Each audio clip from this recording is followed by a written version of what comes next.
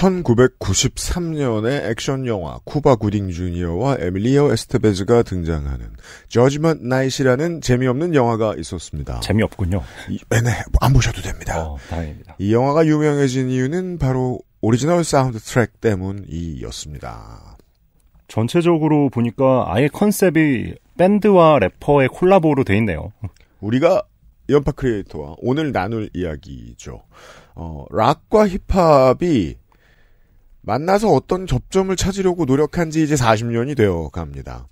음, 처음에 인파크리에이터 선곡을 받고 아까 우리 녹음 직전에 얘기했습니다만 제가 이제 첫 곡을 골라야 되는데 첫 곡을 어, 런 DMC와 에어로스미스의 Walk This Way를 골랐으면 너무 재미없었어요. 너무 뻔하죠. 예. 그게 86년이죠.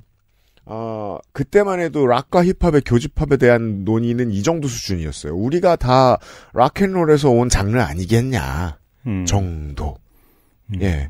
이건 마치 뭐, 그, 무슬림과 개신교인이 만나서 얘기할 때 할 얘기가 그밖에 없는 그런 수준이었던 것 같은 음. 거예요. 약간 지금 들으면 이제 록 위에 랩을 얹어놨다 약간 이런 느낌도 많이 들기도 하고. 그죠? 네. 그걸 Judgment Night 사운드 트랙이 보여줘요. 어, 당대의 가장 유명한 래퍼들과 가장 유명한 밴드들을 모아 놓습니다. 조화가 재밌네요. 티네이즈 팬클럽하고 드라소울은 약간 상상이 안 되는 조합인데. Teenage Fanclub과 Sonic Youth 같은 당대의 alternative 밴드들이 있었고, Slayer도 있고. 예, 어, Slayer 같은 thrash 메탈 밴드가 네. 있고, Biohazard 같은 하드코어 펑크가 있었어요. 당대 밴드 음악으로 생각할 수 있는 모든 장르를 최대한 집어넣었습니다. 나름 최첨단. 네. 래퍼들도 마찬가지였고. 그죠. 근데 이질적인 것이 물리적으로 화합하진 못했습니다. 왜냐하면 음. 래퍼가 앞에 서면 그냥 힙합처럼 들렸거든요. 음. 지금 들으신 노래를 듣고도 펄잼의 노래를 들은 것 같다는 기분이 들지 않습니다. 펄잼 느낌이 전혀 없어요. 에디 베더는 말하지 않아요 여기서. 에디베더가 노래 안 했네요. 그러고 보니까. 네, 그냥 어, 허밍하고 끝이죠. 나나나나 뭐 이런 건가. 샌독과 비리얼의 보컬로만 들립니다. 음. 그러다가 몇 년 뒤에 이게 93년이고요. 음.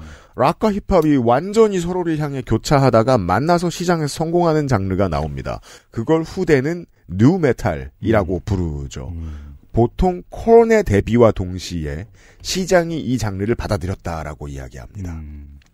어, Rage Against the Machine을 여기에 넣기도 하는데 Rage Against the Machine은 좀 더 전통적인 펑크에 가깝기 때문에 여기서 빼기도 하고요. 음. 그리고는 그 다음에 이 장르로 가장 빛을 본 밴드 Limp Bizkit이 Limp Bizkit. 19세기, 20세기 말에 등장을 하죠. 이때 이후의 젊은이들에게는 락에다가 랩을 하는 게 하나도 이상해지지 않는 세상이 되었습니다. 그리고 20년이 지나서 어떤 음악들이 나왔는지 잠시 후에 살펴보도록 할 겁니다. 사이프레스 일과 펄잼의 리얼 띵으로 23년 11월 첫 번째 Amplified 팟캐스트를 시작했습니다. 노래를 안 틀었는데 튼 척하고 제가 다시 나타났으면 여러분은 아이튠즈나 구글 팟캐스트 아니면 팟빵 혹은 유튜브를 이용하고 계신 거지요. 스포티파이 유료 세션 혹은 광고 세션을 제외한 모든 온라인 모바일 플랫폼은 대개 타인의 노래와 뮤직비디오를 쓸 수 없어요. 아이튠즈와 팟빵은 알려진 바로는 저희가 알아본 바로는 아직 된 적이 없고요. 유튜브도 잘 안 될 때가 더 많아요. 저작권 행정의 거대한 벽이 저희를 가로막고 있다니까요. 방송의 크레딧과 XSFM 소셜에 선곡표가 있고요. 음악을 듣고 음악 이야기 하는 이 방송은 Amplified 팟캐스트입니다. 이번 주 차트부터 확인하죠.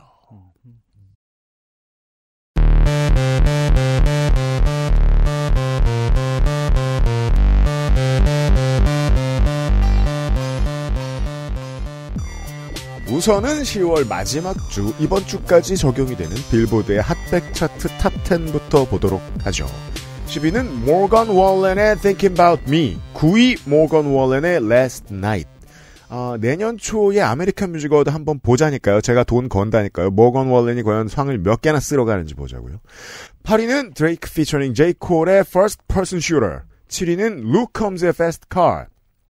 루크 컴즈 거의 미국의 뉴진스네요. 어우, 쉬지 않아요. 예, 네. 계속 머물러 있습니다. 6위 잭 브라이언 잭 브라이언 피처링 케이시 머스그레이프스의 I Remember Everything. 5위 배드 버니의 Monaco. 4위도 드레이크죠. 드레이크 피처링 예츠의 IDGAF. 이번에 새로 나온 앨범의 두 곡입니다. 맞습니다. 3위는 SZA의 Snooze. 2위는 Doja Cat의 Paint the Town Red. 1위 테일러 스위프트의 Cruel Summer. 역주행 끝에 1위 말도 안 돼요, 이거는. 4년 만 4년 전에 발매된 노래가 드디어 1위를 했네요. 이거는 한국으로 말할 것 같으면 저 이문세나 이수만 정도가 거둘 수 있었던 기록이에요. 1년 된 앨범 노래 아직도 1등하고 있는. 어, 취입한 지 1년 된. 네, 취입, 취입한 지, 예, 취입이란 예, 말. 약간 그 느낌인데. 예. 자, 그리고 이번 주에 두 번째 차트는 스포티파이의 이번 주 캐나다 히트곡 차트를 가져오셨어요. 네. 어, 차이가 조금 있습니다. 아, 북미에서 캐나다의 로컬이 보여주는 차이가 조금 있습니다. 보시죠.